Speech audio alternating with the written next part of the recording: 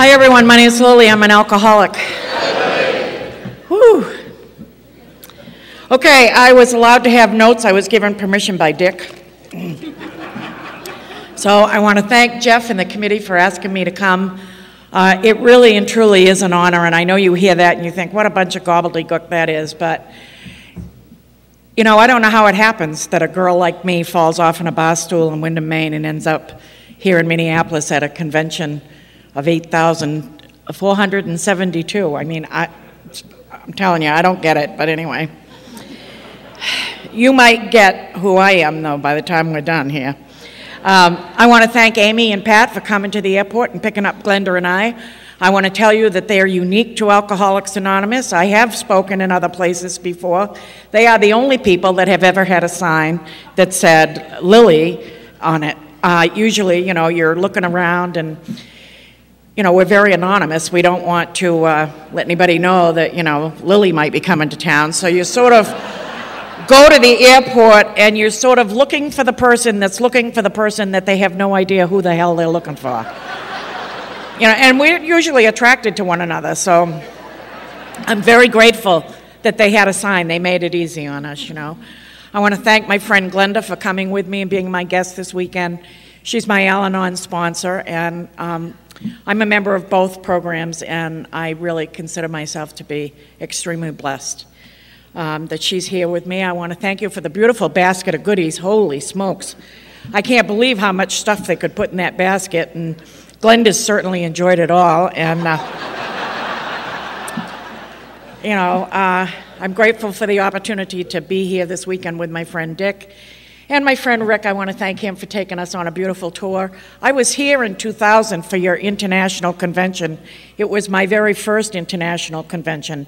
And I didn't see much except for a lot of people. And so I'm grateful for the tour this morning. Thank you very much. My home group is the Scarborough Route 1 group. We meet in Scarborough on Route 1 on Thursday night at 7:30. And if you're ever in Maine, I hope that you look us up. I hope you look me up. I've told this to many, many people, and that is that if you ever come to Maine, it would be my privilege to give you a tour of five lighthouses in 45 minutes, followed by the best lobster roll you've ever had. my sobriety date is November the 8th, 1989. I had my last drink of alcohol on October the 28th of 1989, and as I tell my story, you'll understand why I consider November 8th to be my sobriety date. For all of you people that are new in the group and new in this uh, fellowship, I want to welcome you to the greatest reality show on earth.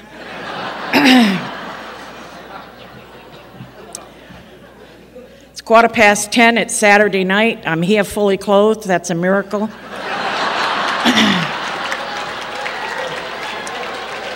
I, um, I was one of those gals that lost her clothes after she had a few drinks. I, I, you know, I never could figure out what happened to them, you know.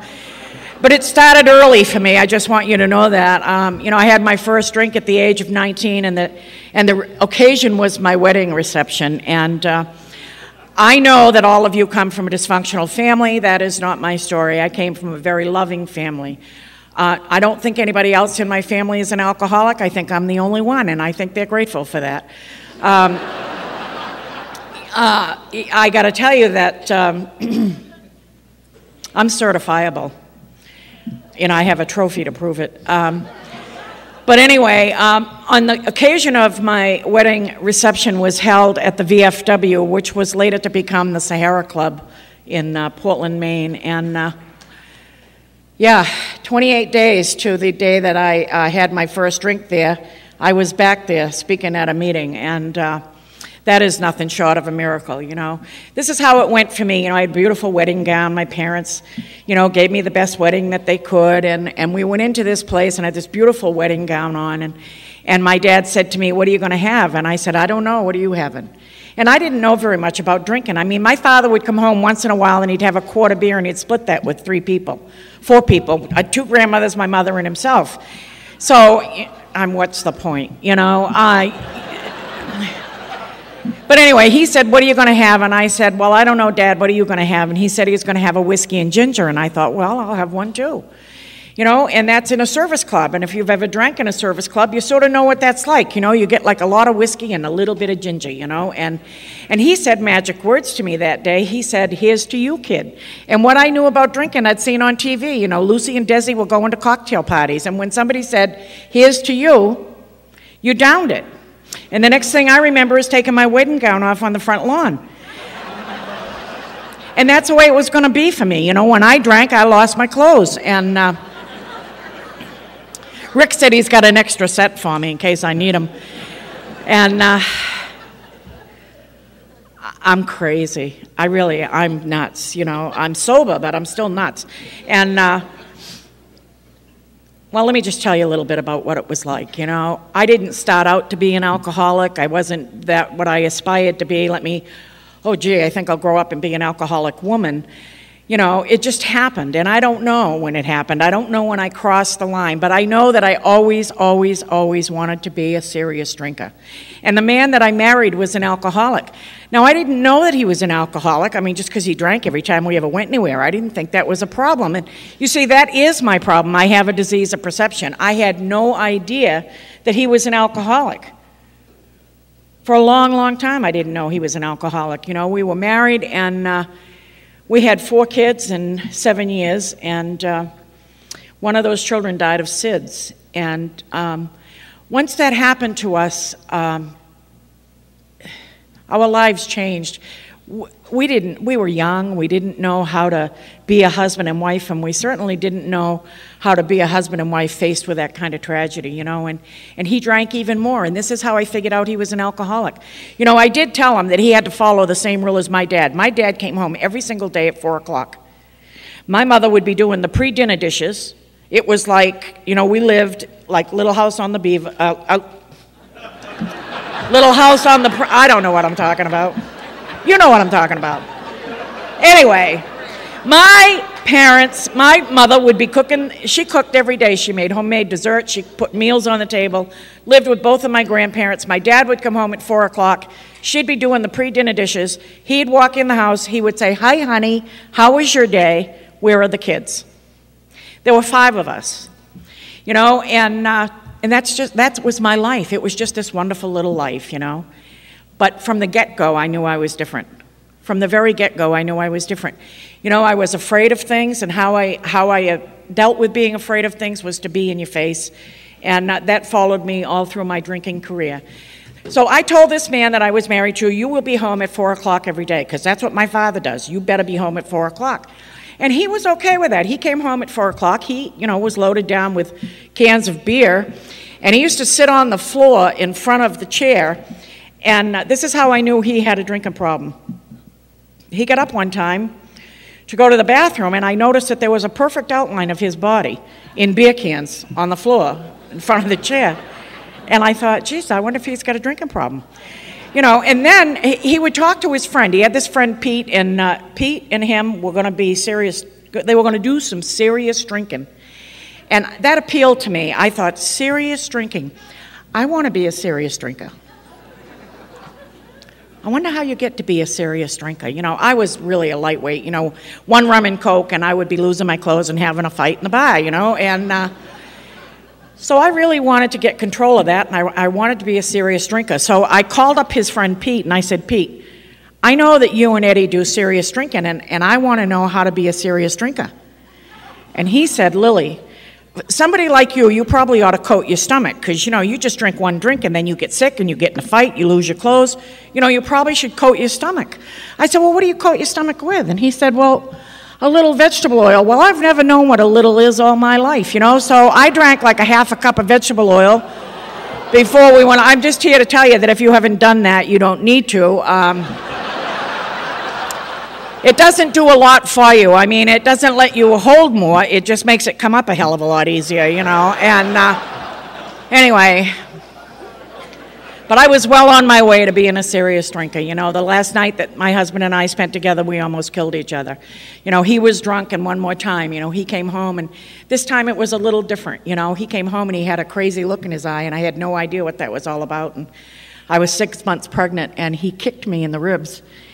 And, uh, broke four of my ribs. And I knew that night that like if I don't fight back, he's going to kill me and it's going to be in the paper, you know. So I fought back and and when the cops got there, I had pushed him out a second story window and he was on the ground and I had I was on the uh, roof with um, a vacuum cleaner. uh, and I was prepared to drop it on his head. And I had this thought in my head, you know, if I kill him, I'll be able to collect Social Security. And uh, you know, I've had the disease of perception all my life. And, and anyway, um, it became very clear to me early on that he wasn't going to be able to support me and those children because he was an alcoholic. And he was an alcoholic of the sickest variety. I mean, he was not able to work anymore. He'd lost a good job. He couldn't take care of us. And I knew, you know, all right, great. I mean, I'm brought up in this family where, you know, the, the chips fall and you pick up the pieces and you deal with it. And so I decided that I needed to go to college so that I could take care of this family, you know. So I crammed four years of college into two years. My parents took care of my children. And then I got that great big S that alcoholic women get, you know. I can do it all. I'm super mom, I'm super woman, I'm super dad, I'm super nurse, I'm super doctor, I'm super lawyer. I can do it all. You know, and I don't need you, and I don't need you, and I don't need you, and I don't need you. And what, what happened for me was this you know, I bought a house that I had no business buying. I mean, really and truly, I had no business buying this house, but you know, I was proven to the world that I could take care of myself. You know, I could take care of me and those three kids. And uh, this is what happened for me. You know, um, my mother asked me at the time, she said, Do you have like an emergency fund? You know, you know, you got to have an emergency fund when you're a homeowner. And I said, Oh, yes, I have an emergency fund. I had 10 cents in the bank after I closed on that house. You know, that was my emergency fund. And, uh, but a funny thing happened, you know, once we got divorced and I had this house, I could go out and drink like I wanted to drink. And I had no idea that the disease of alcoholism was taking over my life. I'm going out with my friends, partying on Saturday night, you know, and going to the honky tonks and losing my clothes and raising hell and coming home if I felt like it. The babysitter would be there and I might come home today and I might not. I might not come home for three days. I don't know. I had no idea what would happen to me once I took the first drink. Now, that's in the beginning. You don't really think, though, that I stopped and said, you know, this isn't good. No, I figured out, well, just keep going. You'll get used to it, you know. And, uh, and along about that time, I realized that, you know, it wasn't right that I didn't come home, that, you know, I would go out and, and, and not come back until I got good and ready. And so I thought, well, I've got to come up with a plan where I can be with my children. They need me. And so I got this idea, and, and now this becomes the rest of my life is just chock full of good ideas, you know. And uh, so I got this idea one time, and I said, you know, I think I'm going to go to the store and buy a 12 pack of beer, and I'm going to strategically place it around the backyard, and then I'm going to mow the lawn. And when I get to a beer, I'm going to stop and have one. and uh, a miracle was born that day. You know, I drank that 12 pack of beer. The yard looked great, and the kids were in the house, and I was in my own yard, and this was great. I had all my clothes on. I said, I have figured it out, you know, and I mowed the lawn every day. You know, I mowed the lawn every day. And along about, you know, September and October in Maine, it's not really necessary to mow the lawn anymore. I would get out and cut it with scissors. Um, you know, and then, you know, like it's really not necessary to do that at all, and I'm, and I'm panicking like I got to get a plan, you know, what am I going to do? And so I decided I would rake it every day. And I'm telling you, that place looked like a golf course. I mean, it was beautiful, you know. And in the wintertime, I shoveled it. And, uh, and see, for me, it was all about drinking and, and being where I was supposed to be, you know. And uh, I don't know when I crossed over the line. I really don't know when I crossed over the line. But I'm here to tell you that, you know, I became exactly what I didn't want to be, and that was a drunk mother. And my kids deserved a hell of a lot better than what they were getting from me. But, you know, my life was crazy. And here's the deal if you're an alcoholic of my variety, if you're a drunk like I'm a drunk, this is what happens. You begin to destroy the things around you, and it seems okay. So I had this beautiful house, and now I'm getting great ideas. Like, you know, one day a friend of mine came, and uh, she, I, I was drinking a Bloody Mary. It was 9 o'clock in the morning, and I asked her if she wanted one, and she said no, she didn't drink in the morning. She thought she might like to have a cup of coffee. So I said, okay, so I went out in the kitchen, and this is how I made coffee back then. I'd turn on the water spigot, and when you couldn't hold your finger underneath the spigot anymore, it was hot enough to make coffee. And then I'd put it in a cup and put a little instant in, and now you got coffee, right? And I took it in and I gave it to her, and she dropped it. And it went all over the carpet in the living room, and it made like a good sized little stain there, and she was beside herself. Oh my God, Lily, I am so sorry. I am so, so sorry. And I'm like, just relax. It's okay. I've got a good idea. I'm going out in the kitchen. I'm going to get some paper towels. I'm coming back and I'll clean it up. And on the way to the kitchen, I got another good idea. Yeah, I don't even like that carpet, you know? And so I came back with scissors and I got down on the floor and I cut the stain out and I opened the front door and threw it out. And after that, you know, it got to be, you know, like you know, you people, the people in the South have a thing for that. They call it cutting up a rug or cutting a rug or something. And by the time I got here, there wasn't any rug left in the house anywhere. We'd cut it all up, you know, and we're down to bare floor. And, uh, and I'm nuts. I mean, I'm just nuts. And uh, I'm doing things like stealing uh, road signs. My friend over here talked about stealing road signs. It's hard to steal a road sign. They're in the ground a long way, you know, and but I wanted this one that said two hour parking, and, and so I went down on Commercial Street, eh, which is down near the waterfront, and I dug and dug and dug until I got this damn sign out. And, uh, you know, it's in concrete and everything else, but you know what? There's nothing as determined as a drunk woman that is on a mission, and I was on a mission to get that sign. Because I thought, well, I could put that in my driveway, and then I could put a chair in front of it, and then when my friends came and passed out, well, once the two hours was up, you'd dump them out of the chair and somebody else could sit down. And uh, so, anyway, I stole that sign, I put it in my car. It's sticking out the window a long ways. And I'm driving up the road, and there's a roadblock. And I'm thinking, well, I, they don't really think I'm that stupid, do they? That I'm going to go up to that roadblock with a sign sticking out. You know, I'm not going to do that. So I drove across the field of the uh, Windham Correctional Facility to avoid the police. And now this was going to be my new thing, was going to be, you know, like avoiding the police. And uh, I never got arrested for an OUI. It's not because I didn't try. I mean, I did a number of things to try to, you know, become uh, on that list, um, although I was scared to death of, of an OUI. And anyway, um, I also didn't like who I was, but I didn't know that's what it was until I got here. I didn't know that I didn't like me. And so what I would do is I would wake up in the morning and decide who I was going to be. You know, and if I was going to be Jimmy Buffett, then I would dress up like Jimmy Buffett and and I had a really good job with the federal government, and I quit that job so that I could become a bartender. Because, see, if you're a drunk like I'm a drunk, you've got to get closer to the booze. And, you know, by now you can't afford the amount of booze that you've got to drink every day, so you've got to get someplace where you can steal it. You know what I'm talking about. You know, and uh, I got this job in a really nice place. You know, it's called the Silver Spur Saloon. And uh, I immediately changed into a cowgirl. Yeah. I got to tell you, I got her beat, you know. Driving around in this car now, that something happened to the front seat. I don't know what happened to the front seat. More will be revealed to me, I'm sure. But right now, I can only tell you that I had a milk crate bolted to the floor and I had a pillow on the on the milk crate, and then I had a pillow going this way, and then I had a two by four jammed between the back seat and that pillow, so that it sort of made like a chair. You got what I'm, you know. And I'm dressed up like a cowgirl, and uh, yes. Yes, I mean, if you're going to be a cowgirl, you got to be a cowgirl. You know, you got to have the whole thing going down, you know, and so, you know, I had the little jeans skirt with a slit up to you know where, and cowboy boots, white, you know, white cowboy hat. The whole, I got it all, right? And I got this car that's got a milk crate for a seat, and I'm drunk, and I'm driving home, and uh, the cop pulls me over. And I immediately had a good idea.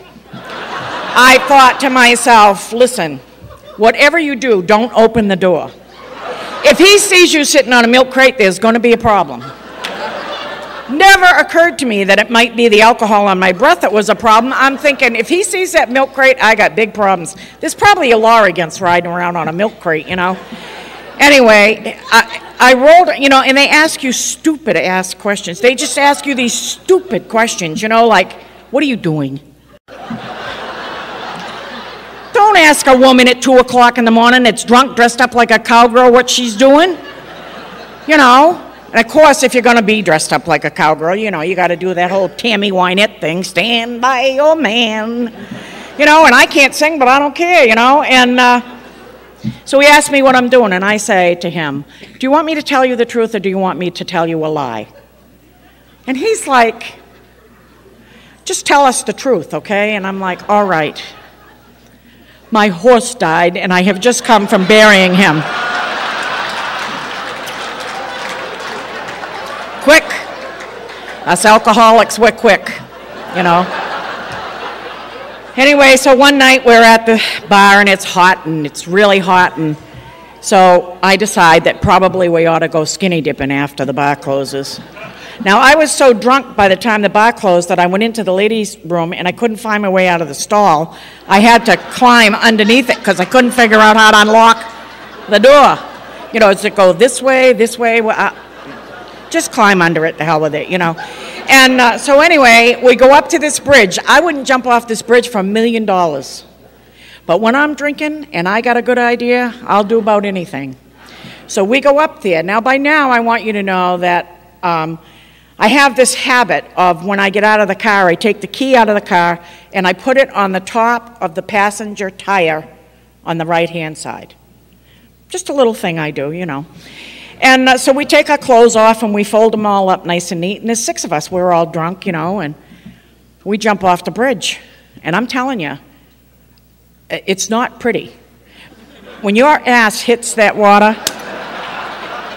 it hurts.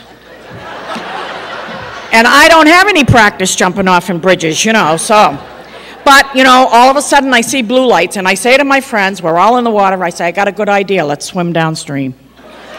So we swim downstream and we wait down there until the cops disappear, you know, and uh, then we come out of the water and come running up through people's backyards, and we're being very quiet as only six drunks can be at 2 o'clock in the morning. and we get up to the car, and those cops took our clothes. Yeah. And one of the guys that was with us, he was married, and uh, he, he says to me, Lily, my wife is going to be really pissed if I show up at home with my hair all wet. Yeah. And I said, Gil, I've got a really good idea. Why don't you get in the front? I'll drive really fast. You stick your head out the window. You can blow dry your hair. Yeah. So we're all in the car and we're driving up the road. Gil's got his head out, you know, and he's blow drying his hair. And the blue lights come on, and I say, "Let me handle this," you know. And uh, they come up again, you know, they come up to the window. Now they have a flashlight, you know, and they're shining it in the car. And there's six naked people in there, and me sitting on a milk crate driving the car, you know, Gil with his head out the window. And he says, What are you doing? And I said, Well, it's really hot out. We're just driving around trying to get cooled off.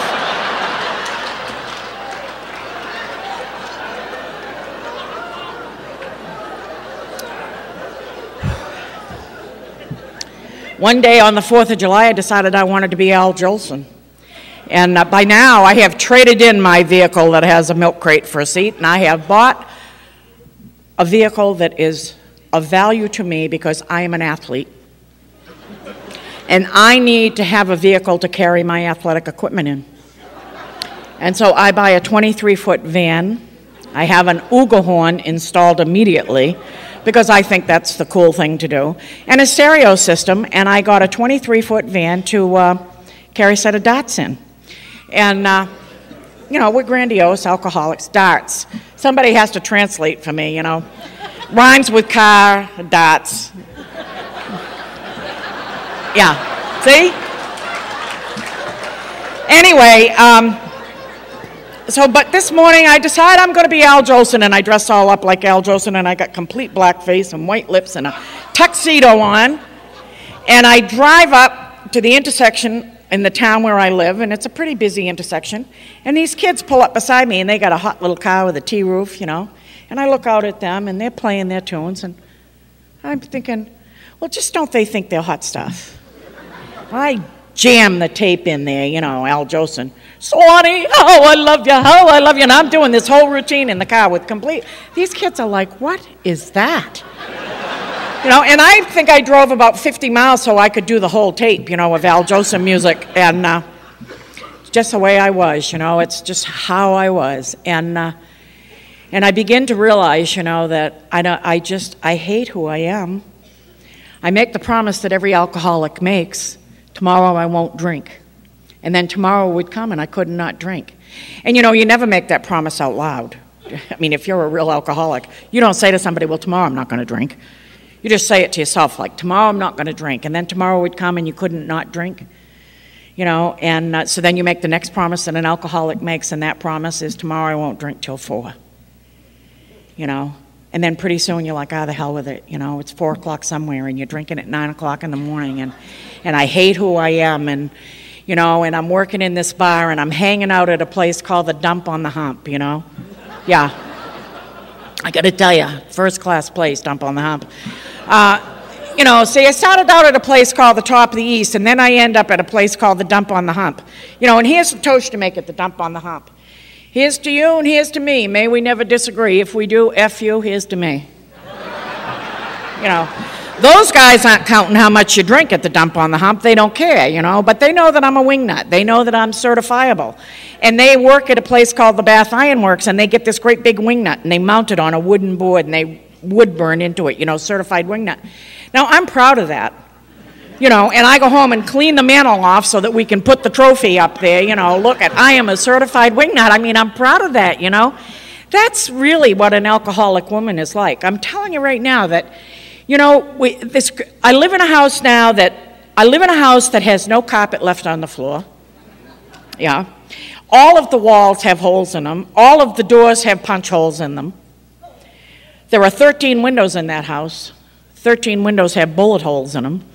I don't know if I'm shooting out, the neighbors are shooting in. I was five years sober before I knew all the windows had bullet holes in them.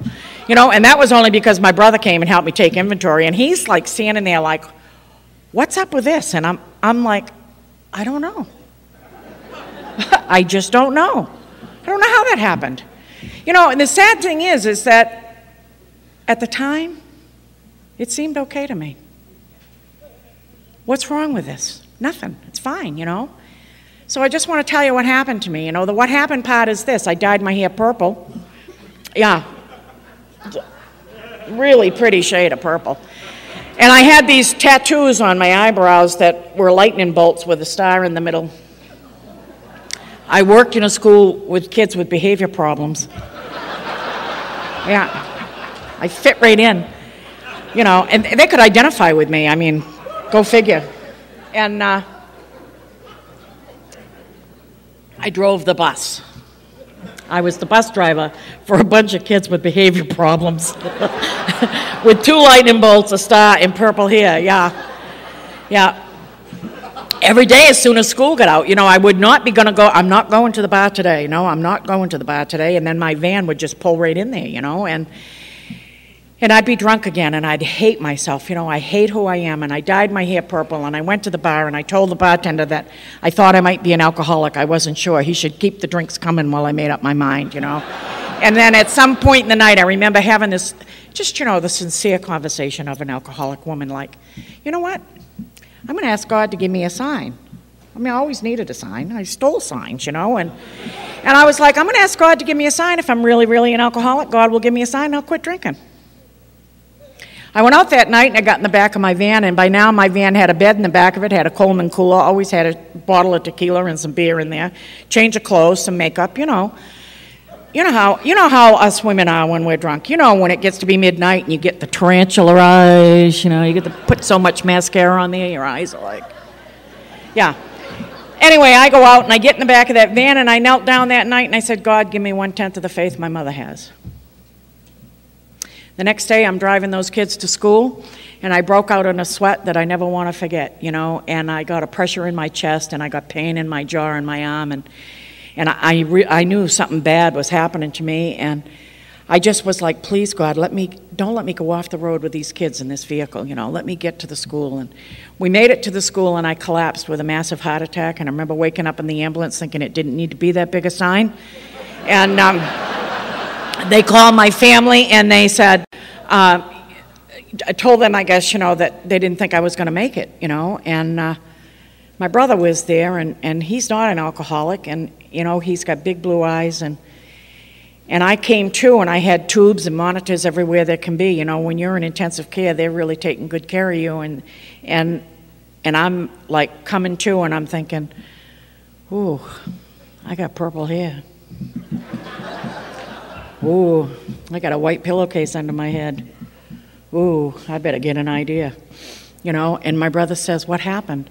And I said, I don't know, but whatever they're giving me is turning my hair purple.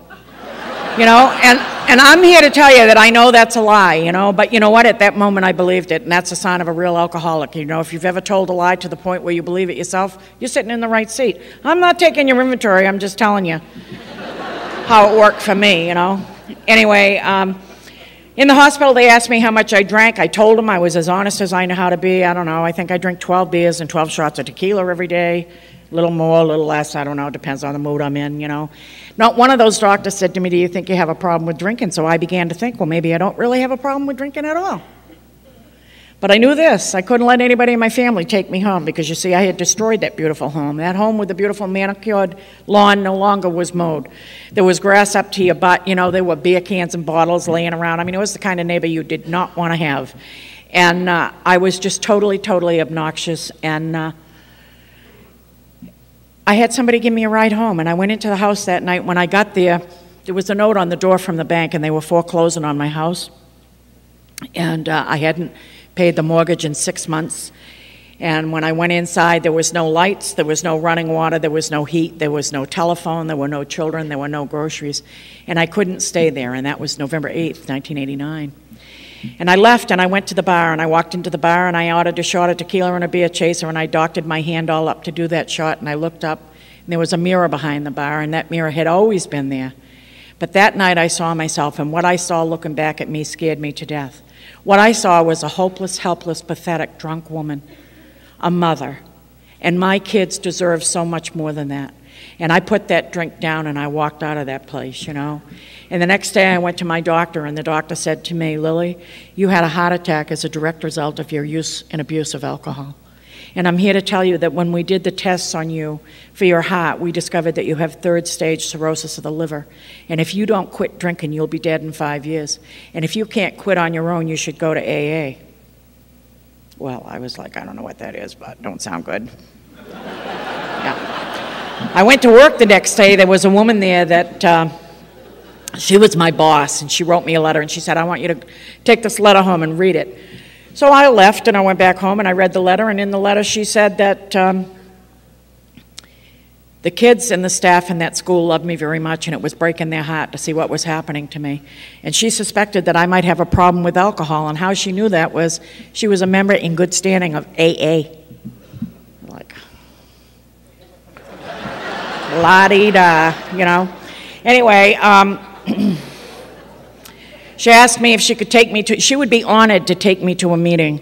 And I had just enough people pleaser in me that I could say, okay, I'll go to the meeting with you. But you know what? It got closer and closer to the time to go to the meeting, and I knew I wasn't going.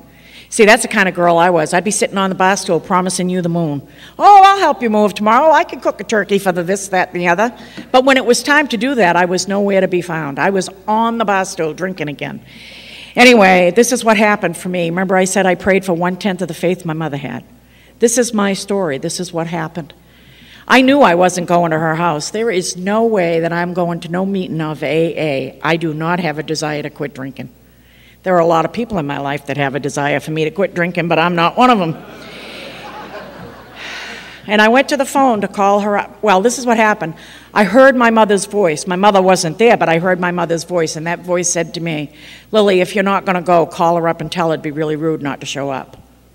And I went to my phone to call her, and it was dead. And it never occurred to me to go to a phone booth and call her, so I drove 15 miles to her house to tell her that I couldn't come. She said, Come right in. She had a gift for me, it was all wrapped up, you know, and. Uh, had a big bow on it, and I sat down at the table and I unwrapped it. And I never want to forget how I felt at that moment. You know, it was a blue book, and in big white letters it said Alcoholics Anonymous. And I thought, how in the hell am I going to get out of this? You know? And uh, she said, why don't you read what I wrote inside the front cover? And inside the front cover, she had written, To Lily, my friend with love, may you someday know how important this day is to me. Fasten your seatbelt and welcome to the greatest adventure of your life, one day at a time. And that's exactly what it's been for me, you know. I uh, didn't want to go to the meeting, but now she gave me a gift, so I suppose I should go, you know. I went to the meeting, there was this little old guy standing outside the meeting. You walk down three steps, the room is full of smoke. This little old guy is shaking all over, sticks his hand out at me and says, Welcome, you're amongst your own kind. And I'm thinking, I don't think so, bucko. You know. Then I go in, the next guy I meet is as tall as that guy was short. He has a belt buckle that's about my eye level. It says bullshit on it. And he's got a big toothy grin and a shock of white hair, and he's like, You just keep coming back because it gets better and better and better. And I'm thinking, Well, I have sunk to an all time low now. Yeah. This room is full of people. They're all happy. They're all alcohol. I'm an alcoholic. I'm an alcoholic. They go around the room and they introduce themselves. I'm an alcoholic. They get to me and I go, I'm Lily and I'm an alcoholic. I was like, oh my God. I'm an alcoholic, you know? Then somebody got up and they read how it works, you know. When they got to the chapter to the obnoxious, I knew I was home.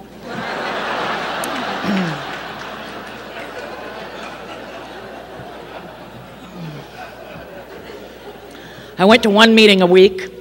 I used to walk around the mall every day because at that time they didn't sell liquor in the mall, and I figured if I went to the mall, I'd be safe, right? And uh, there was this guy in the store in the mall, the manager of one of these stores, and one day he's on a ladder and he's, he's got on a three piece suit and a painter's hat, and, and I'm having an argument with him. And I'm like, Don't you feel like an idiot? Because you sure as hell look like one. You know, up there all dressed up in a three piece suit. How come you're on the ladder anyway? And why do you have that hat on? He was glad when I found out there was a meeting every day of the week. you know, I stopped bugging the guy at the mall, and, and uh, then they told me to get a sponsor, you know, so I got a sponsor, and I was smart. You know, the very first meeting I went to, I read the 12 steps, and I thought to myself, hmm, I picked and chose the one I was going to do and not do, you know, eh, but the ninth step intrigued me you know, that made direct amends, I thought to myself, well, I heard my ex husband was in this program. He owed me $150,000 in back child support, and I was going to stick around until he made his amends. You know, well, it kept me sober. You know, can I say it kept me sober for another day, you know? And uh, I asked this woman to sponsor me. I picked somebody that I used to drink with because I figured she's already seen me do all my crap. I ain't going to have to do steps four and five. You know, that was a big mistake. I, she'd, I, she'd tell me to call her in the morning, call me at 6 o'clock. So at 6 o'clock, I would call her. But if I called her at 5 minutes to 6, she wouldn't talk to me. If I called at 5 minutes past 6, she'd pick up the phone, say hello, and hang up on me. And I was like, these people are really rude, you know? They are really, they're very rude. So then I got the idea okay, she said six o'clock. At six o'clock, you, you call at six o'clock. And then she'd say to me, let's do the reading. And I'd say, well, what reading are we going to do? She says, stick your finger in the big book. Whatever page it comes out, that's the reading we're doing today. Okay? And then she'd say, and what meeting are you going to tonight? Well, it only took me about a week to catch on that I ought to have a plan. I'm going through the meeting list, you know, like uh, tell her what meeting I'm going to. She'd say, What meeting are you going to? I'd say, Oh, I'm going to go to the Tuesday night women's meeting. She'd say, Great, pick me up. you know, so I'd go to the meeting with her. And then I figured out why it was she wanted me to call, and especially why she wanted to know what meeting I wanted to go to. Because you see, the first 30 days that I went to meetings, every meeting I went to, this woman got up and talked, and she said, Oh, I'm happy, joyous, and free. And I'm thinking, You make me sick to my stomach. You know, happy, joyous, and free. Really. You know, and then the other thing I would hear was this message of just complete despair. You know, cunning, baffling, powerful, terminal, progressive, fatal. I'm like, Jesus, give me a break. Lighten up, you guys. You know, I mean, really. And uh, so uh, now it's the 30. At home, we have chips. And, uh, and I want to tell you that very first meeting I went to, they, they offered you a chip. And this lady got up and she says, Here at the Portland Group, we'd like to offer you a white chip to start a new way of life. And I thought, Well, lucky me. I have already admitted that I have sunk to an all time low. I am sitting in a room full of losers, and now they're going to give me a poker chip for not drinking. really? You know. But what she said next were the words that would save this drunk's life, and these were the words she said If you're too afraid to pick up a white chip, see me after the meeting and I'll give you one. And I was scared to death, but I wasn't about to let you people know I was afraid. I mean, you're losers, come on. So I marched straight up there and got that chip, you know, and a miracle happened. You know, people applauded. I'm thinking, wow, this is different. You know, because most of the places I was hanging out, they weren't applauding. They were like, get her the hell out of here, you know, and. And uh, I, so I got to tell you, you know, I'm crazy. I really, I'm truly, I still am. Uh, I rather enjoy it today. But anyway, back home we have a 30 day chip and it's red, and I called it the blood chip. I get that blood chip, and then I'm getting out of here and I'm going to Charlie's and I'm going to get drunk because I'm sick of these people. You know, cunning, baffling, powerful, progressive, fatal. I can't do it. I just can't do it. I can't hang out with you people. You're just too serious for me, you know? I don't know what it is. You're all laughing before the meeting, but as soon as the meeting starts, then you got to start reading, you know, how it works, you know, cunning, baffling, powerful. What an order. I can't go through with it. I'm like, oh, I can't do this. I'm going to get the chip and I'm going to go get drunk. And this is what happened for me. You know, that sponsor said to me, Lily, I want you to sit in the front row. And there was a reason for me to sit in the front row. I didn't know what that reason was at the time, but I know what it is now. That is because you see, I'm nosy. I want to know who's with who, how did they get together, when, how long are they going to stay together, how did you get your hair to do that?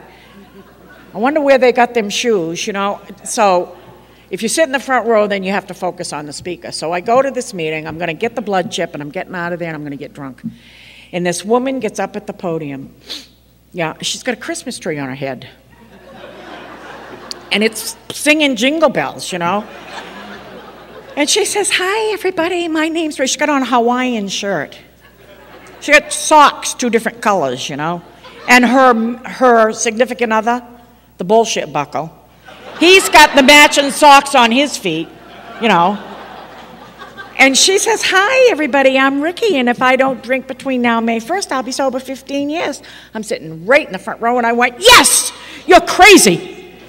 You know, I, I was like, Whoa, she is whacked and it doesn't seem to bother these people, maybe there's hope for me. You know, kept me sober. Kept me sober, you know. I got up after the meeting and I said to her, You seemed, you appear to me to be absolutely nuts. And I was wondering if you could help me. yeah. I was about six months sober when her friend said to us, um, you know, if you're any kind of girls, you'd go in the hospital and see Earl's in the hospital, and uh, he's from a way, a way up country, and he doesn't have anybody to visit him, and you girls should go in there and visit him. And so Ricky says to me, Lily, meet me tomorrow at 1 o'clock at the main medical center and wear a hat. It's like, okay. So you probably saw her when she was here in Minneapolis, the hat lady. Yeah, so she, uh, I get there the next day at 1 o'clock at the appointed hour, and I get out, and the only hat I have looks like a shark's head, and I've got it on. And Ricky gets out, and she has a fish hat too. Yeah, only, and she's got a fish pocketbook. Yeah. So, and Ricky is a trained operatic singer. And I say to her, Ricky, I can't sing good. My mother says if you can't sing good, you should sing loud. And I do know all the words to give my regards to Broadway. She says, Great, we'll sing that. So you go in. Now, this is back in the day when you could go in the hospital and ask for an Earl, and they'd tell you where all the Earls in the hospital were. Today, they don't do that. But we go in, you know, we're looking for Earl from up country. Oh, yeah, we got an Earl here from Presque Isle. Yeah, that must be the one. Okay, he's on the third floor. So we go up to the third floor. We ask the nurse, Where's Earl? Oh, he's in that room right over there. We walk in, two ladies with a fish hat on our head.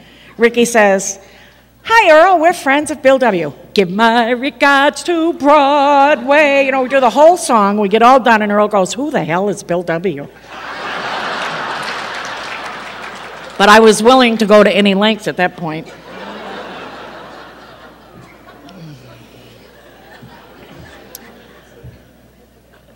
You know, I had three children. Two of those children were active alcoholics when I got here, and uh,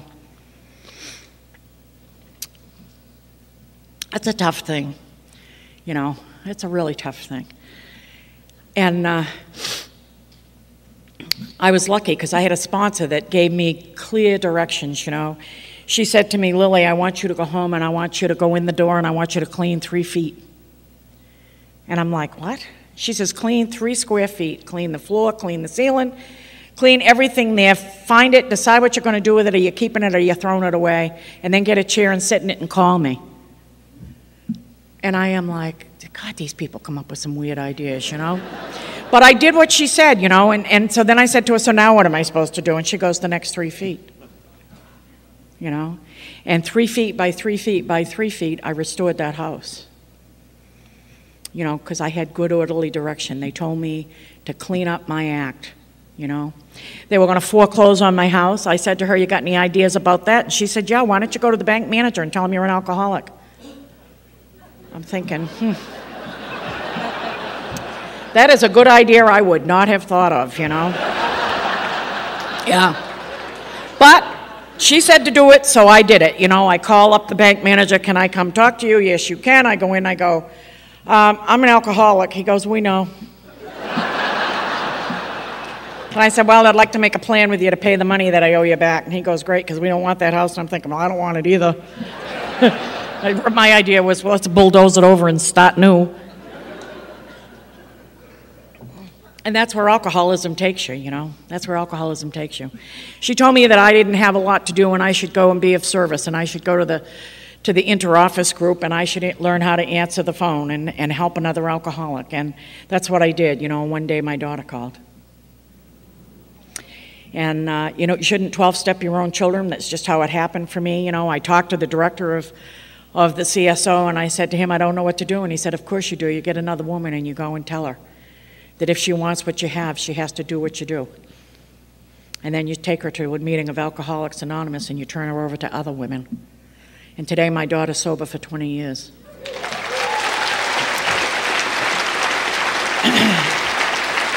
she married a sober man. She married a, a man that's sober as well. And I got to tell you that if I was going to take out an ad for a son in law, this is the guy I would pick. He's, he's absolutely wonderful. And he treats her like a queen. And that's just wonderful for me, you know. And, and I got to tell you that on my third anniversary, she stood at the podium reading how it works, practicing the Lamaze. And the guys in my home group said, Lily, get her to the hospital, you know. And, and I got to tell you, I was in the room when my first grandchild was born. And boy, that is a miracle. You know, I was sober and I was there to support her and to see this child be brought into this world. And, and if you think, if you remember what it was like when you had it, your first child, and you remember the miracle of it, and like, oh my God, I created, we created this little human being. You ought to be in the room when your first grandchild's born. I'll tell you, it's that times a 100,000.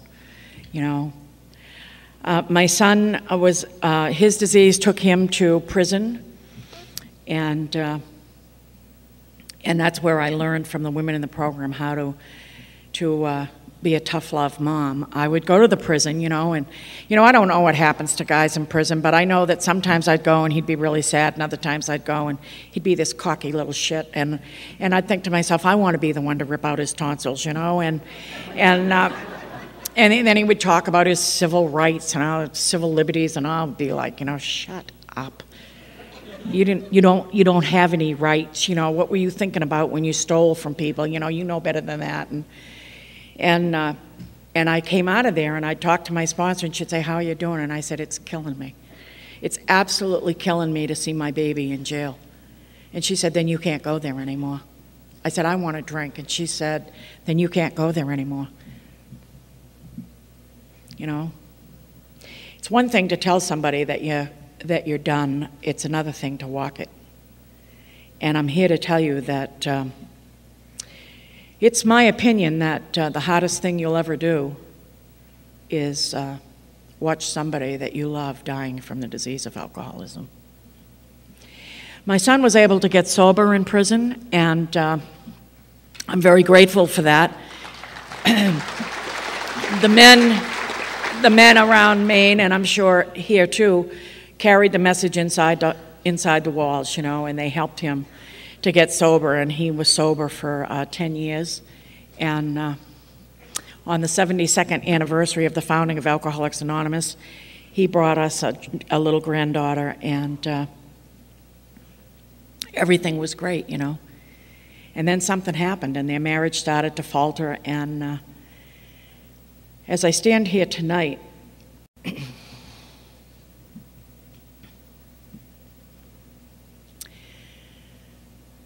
my son is homeless and living in a shelter. But when I left to come here, he was sober.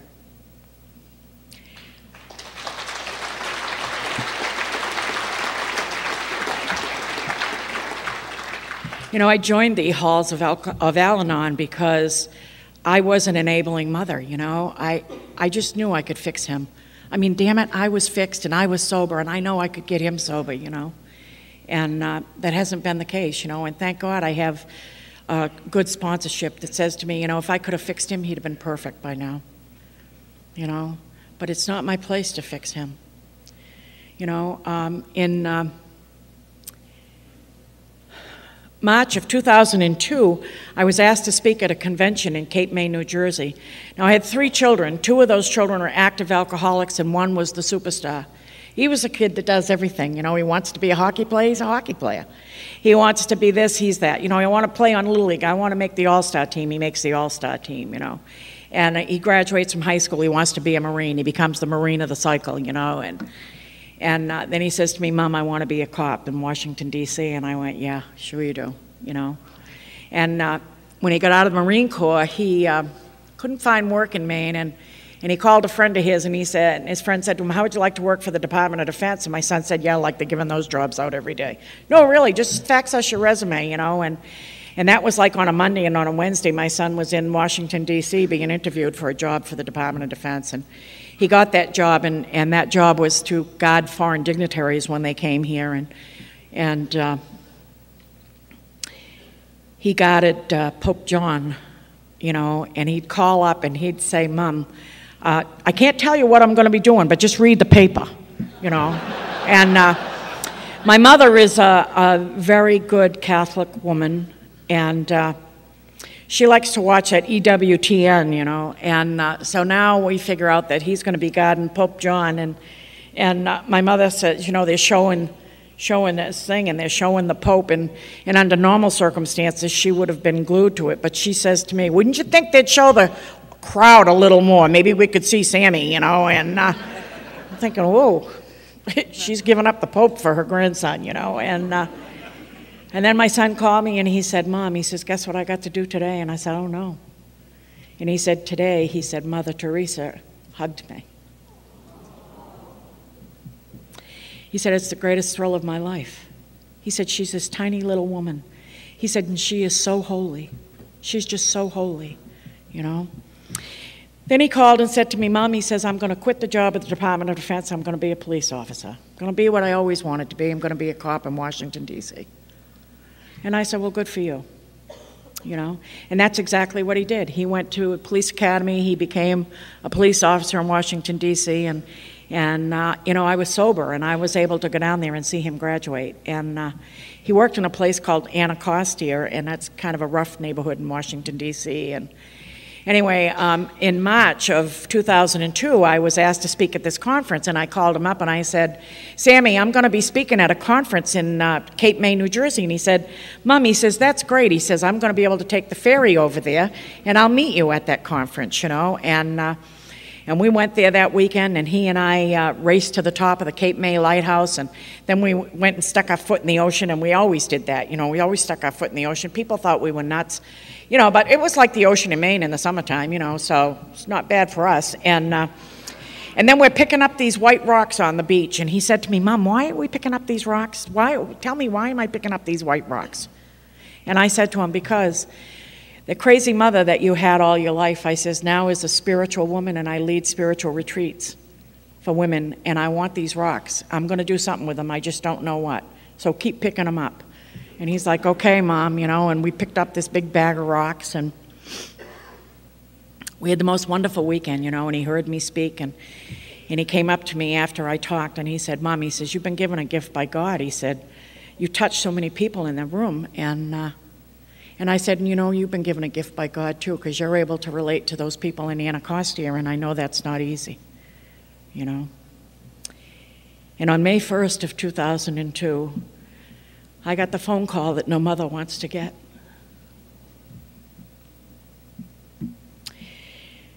Sammy was dead. And uh,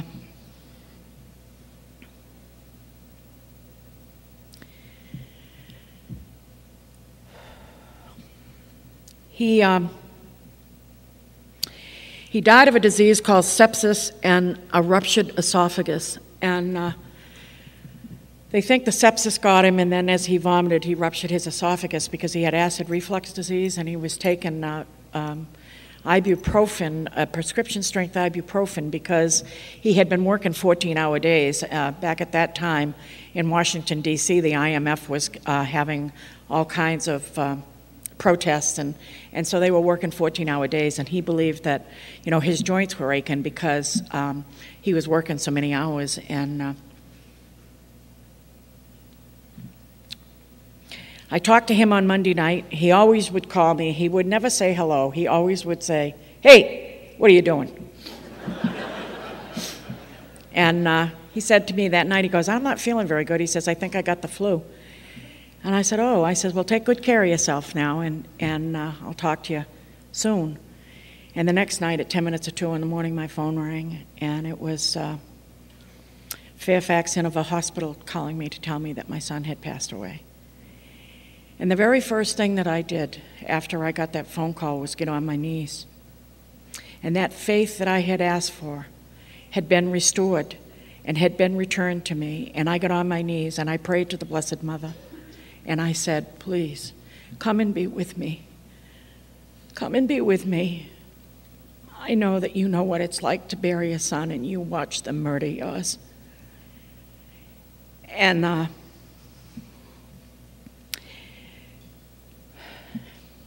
I made one phone call. I called a friend in AA. You know, and the next thing I knew, everybody in AA was there to surround me.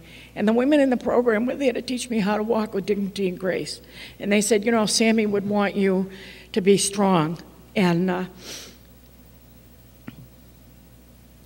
it's not easy picking out a casket for your child. Anyway, um, we got to the funeral home, and there were just tons of people there, and 70 police officers from Washington, D.C. came. And my son had a, a hero's funeral, and uh, they were incredible, these guys that he worked with. They were just incredible, you know. And his police partner came up to me and he hugged me and he said, Lily, I've never seen anything like this in my life. He said, I've been to a lot of funerals for a lot of cops, but I've never seen anybody with this many friends. And I said, Well, they couldn't all come, you know. And he said, What? And I said, Well, they wanted to, but when they got here and saw all these cruises, they kept on going.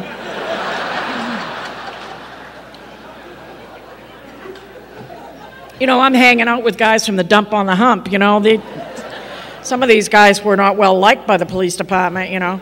I do remember one time asking my son, I said, Sammy, what would you do if you pulled over a car and there were six naked people in it? He said, I wouldn't touch that with a 10 foot pole. Do you know how much paperwork is involved in something like that? You know.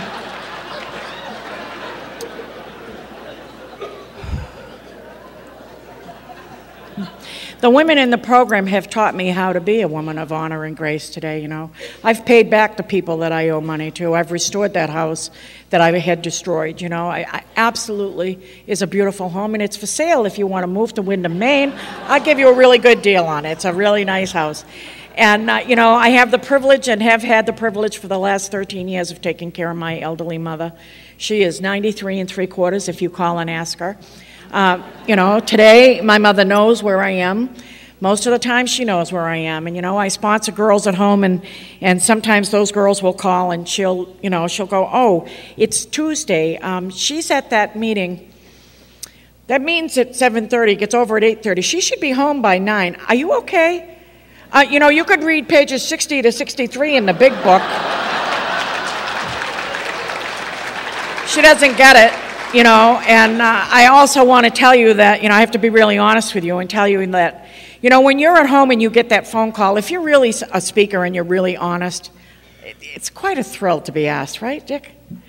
You know, when you get that phone call and, and somebody like Jeff calls you and says, Can you come speak at the Gopher State Roundup? And you look at your calendar and say, Yeah, I can. And then you hang up the phone and you go, Yes! I'm going to Minneapolis you know?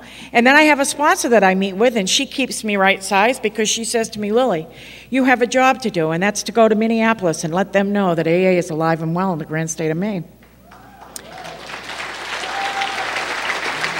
Yep.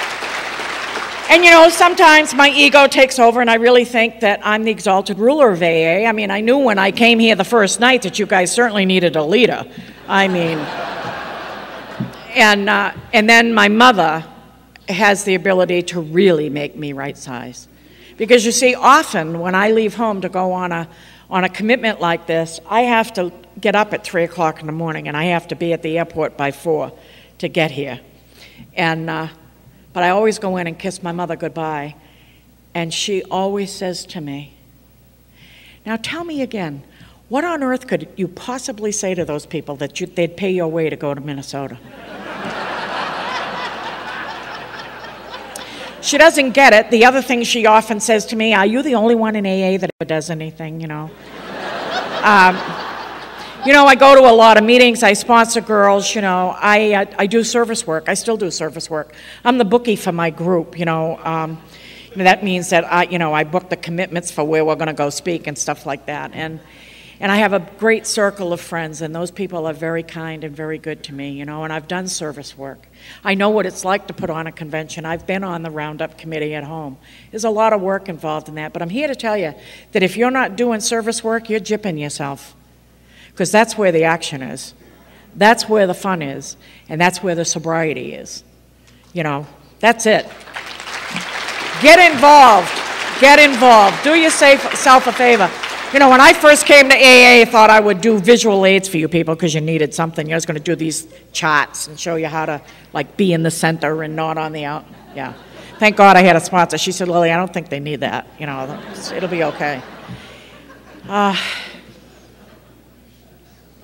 as I said when I started, there is nobody more amazed than I am that I'm here to be with all of you, that I'm fully clothed. I mean, I. Uh, what a miracle. Really and truly, what a miracle this all is, you know. We were alcoholic, drunk mothers, drunk fathers, drunk brothers, drunk children. And we end up in the halls of Alcoholics Anonymous. And by following the 12 steps as they're laid out, and also working the traditions and the concepts, we get to have this life. Who gets that? Who gets that? Only that only happens in Alcoholics Anonymous. There is a power in these rooms that can beat anything that you ever are going to face. You know, anything you're ever going to face. As Frank said before me, you know, this is the place where you come to heal, and all of you gets healed. All of you gets healed. I want to end with this little adaptation I did of the footprints, and it goes like this. One night, a man had a dream that he was looking down at the beach and he saw a set of footprints drunkenly zigzagging in circles. Yeah.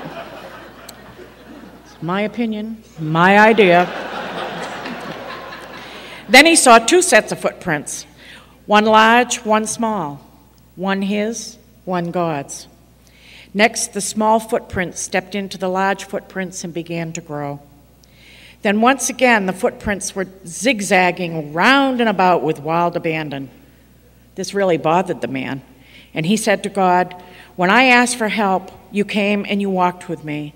And God said, Yes. I gave you the 12 steps of Alcoholics Anonymous. And as you began to put them into practice, you began to grow. The man replied, Then God, I don't understand. If I was doing the footwork, what happened? Why all the while zigzagging again? And God said, Oh, my precious one, I would not abandon you. After you learn the steps, we dance. Thank you very much for letting me come and share.